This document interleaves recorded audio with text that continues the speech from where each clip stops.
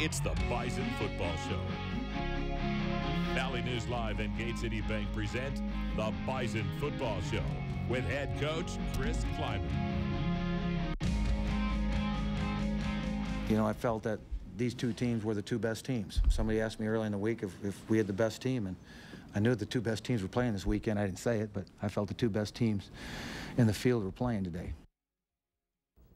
That's Northern Iowa coach Mark Farley. UNI came to Fargo with a hard edge, and the Bison gave it right back to them. The result was a head-knocking, old-school masterpiece, and the Bison are still dancing. Coach Chris Klieman is here, and Coach, every time with yeah. these guys, it is a battle, isn't it? Yeah, we know it was going to be, and, and uh, two really good uh, football teams, well coached, uh, uh, play really hard, play really fast, and, and we just made a few more plays. That's a physical football game too. Every time with those guys, I think it's so hard hitting and you know inches. It's a game of inches, not yards with these guys. Absolutely, and and uh, both teams had pretty similar numbers. I thought our numbers in the second half were much better, which kept our defense on the sideline, and, and our offense just kept churning out some yards until we were able to get the big scoring drive. Yeah, on our Nodak Mutual Insurance halftime scoreboard, that's it. There was not a lot of points. Yards are tough. I mean, this is a grinded out game at this point. It's going to be awesome to look at the second half. Before we do that, the Gate City Bank hot seat this week, veteran receiver Zach Vraa. All right, Zach, what's your favorite pro team, any sport? Got to go with the hometown heroes, Minnesota Vikings. Okay. Who would you describe as your hero? You know, a lot of people hate him, but LeBron James, young guy right out of high school, great explosive player. Yeah, no doubt about that. What's your favorite sport other than football? If it's considered a sport, longboarding. Okay. Name something you are bad at. Golf. Can't hit it to save my life. It's a hard sport, man. Yep. What drives you crazy about your roommates? Um, how dirty the apartment can get sometimes and how lazy we are, but it happens. You're from the metro down there. In traffic, are you patient or do you get frustrated? Uh, I'm pretty patient. You know, I like to stay cool. I don't like to get too frustrated about too many things. I can see that. Yep. What do you like most about Fargo and North Dakota in general? Um, just simply how friendly everyone is. What do you like most about the Bison coaching staff as a whole? How personable everyone is and um, just how well they do their job. What's the one thing people don't know about you? Um, I'm an avid artist. Well, Coach, at halftime, I'm guessing a lot of adjustments were made. This was a tight ball game. It really was, but we were really calm. Just talked to the guys about we needed to have the best 30 minutes uh, of the season, and uh, somebody needed to make a play. Uh, but continue to do what we're doing. I, I, knew we could move the guys up front, and our offensive line was going to do a better job. And then defensively, continue to keep away from that explosive play that hurt us so much the first time we played them. There's your final score. What a win for the Bison on your Nodak Mutual Insurance final scoreboard, 23 to 13. And yards were tough uh, on both sides. Great defensive effort by both teams. Not a lot of plays out there, 54 and 58. That was the nature of the football game, though. Let's hear what the players had to say after the game.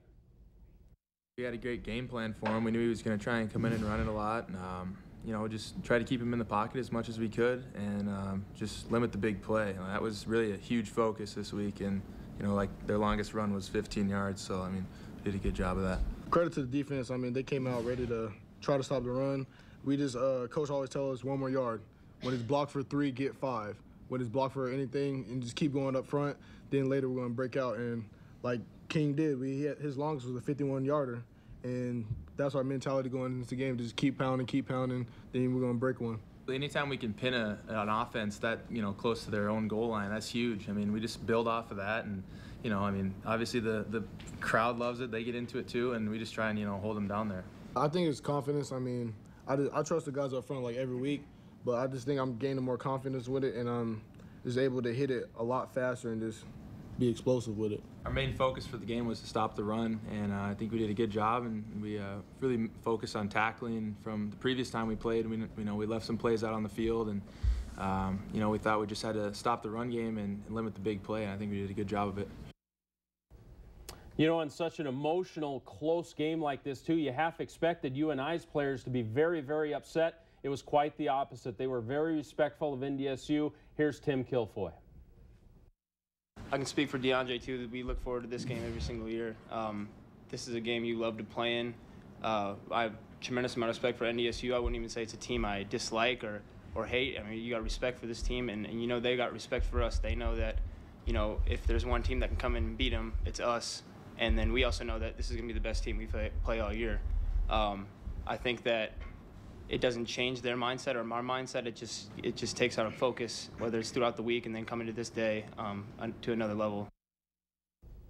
It's kind of fun to hear that, isn't it? Uh, respect on both sides. Yeah, you bet. And uh, there is. There's great respect for both programs, and the guys, they know they're going to play the game the right way. I'll tell you what, Ben LeCompte is making plays that are game changers in these tight playoff games. Yeah, and we really believe the formula for success in the playoffs is to be able to run the football on offense, stop the run on defense, and win on special teams. And we're doing that because of Ben LeCompte and guys like Bruce Anderson. Let's look at those two playoff games, the numbers put together. And I mean, this is the stuff that's going to get you a pro contract right here.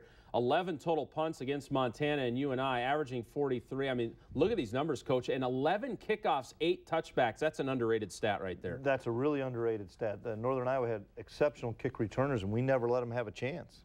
You know, and he'll have a chance at the next level because of that, because they want guys that can kick off and punt, right? Oh, absolutely. Yeah. yeah. Ben, ben, will, ben will be in a camp. He'll have an opportunity. How about Carson Wentz? Uh, that was the hubbub all week. Uh, how did he do in practice? What did you see from him? This is his season stats here. Yeah, he progressed well. We'll, we'll find out uh, a little bit more this week, yep. but uh, he was able to spin it a little bit more uh, as the week went on, and, and we'll just continue to progress. Uh, it's good to just see him out there doing something. I'm sure it's refreshing for him to at least be throwing the football at this point. Oh, absolutely. Yeah. you can tell he's, he's really itching to get back, yeah. and, and we've got to make sure that he's 100% healthy. Yep. Let's look at the bracket. Uh, very interesting weekend. Uh, Illinois State was upset. Uh, they had the home field, uh, did not have a great crowd, came out flat, and Richmond made them pay, Coach. They really did. Uh, I watched a little bit of the game, and, and, Richmond really played inspired. They had a great quarterback and, and a running back that did some great things. And then on on defense, they did not let uh, Coprich or uh, Roberson run the football. And on the top part of the bracket, there's the old Bearcats. They're still clicking. Uh, this is the fourth year out of five. They've been in the semifinals. They've been to the title game twice. Obviously, we've played them. They have a playoff switch, apparently. Yeah, they, they really do. And th that'll be a great football game. Yeah. Two extremely talented teams in Sam and Jacksonville State.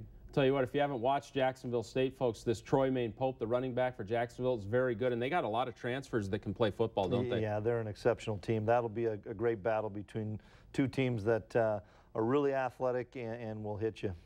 After a powerhouse football game like we just watched, I think it's uh, very appropriate that we're going to talk with Jim Kramer coming up and talk about the weight room a little bit. Stay with us.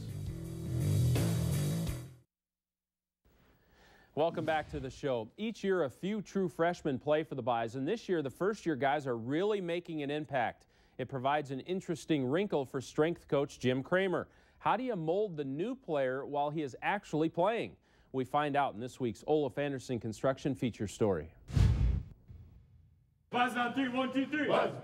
When Bison freshmen get to campus, they learn a lot of lessons. Stay down, fast start, go! One of the first will be how important Jim Kramer is to them as athletes. He's the heart and soul of this team. Throughout the years, everyone builds a, a fantastic relationship with him, and it's, it's hard not to. I mean, feel the energy when you're around him. He just loves this program so much and what it's about. The North Dakota State Strength and Conditioning Program has proven itself. Stay with these weights, non-green card guys. They have a blueprint that gets to work through a redshirt freshman program. But when a player steps up to make a difference as a true freshman, Coach Kramer truly shines. I think the number one quality of a strength coach can sometimes be, you know, being creative, thinking on your feet. Coach Kramer and his staff adjusted last year with R.J. Urzendowski, and this year they are proving their worth again with Robbie Grimsley and Bruce Anderson. Just coming in the summer, he's made me a stronger, faster athlete, and during the season, I'm actually getting stronger and faster. I mean, I came in a little more physically advanced than some of the other guys, and that helped me be able to play at this early age, but. Uh, no, he's just trying to keep me up uh, my weight as much as possible throughout the season. Bar speed, especially on those high pulls, but not just the high pulls. As true freshmen expected to play each week, Anderson and Grimsley can't push as hard in the weight room. That's it. Good. So Coach Kramer focuses on technique and maintenance. Start though. Tight back. Building the foundation for major games in the offseason. We've seen a lot of progress out of those first year freshmen.